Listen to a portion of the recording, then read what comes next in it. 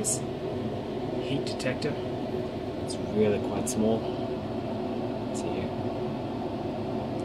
It's only just about 40 millimeters in height.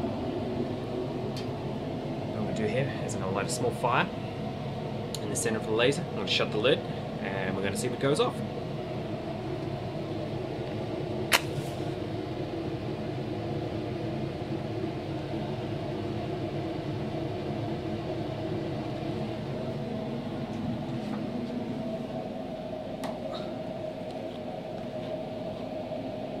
We have flames just about touching the top.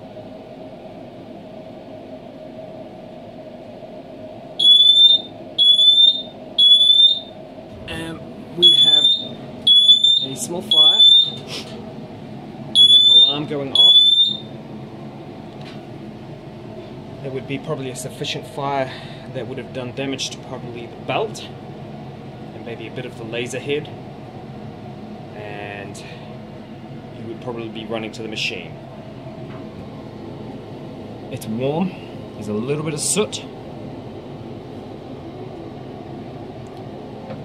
But I think you would save your machine, and I think you'd be very, very happy at this outcome.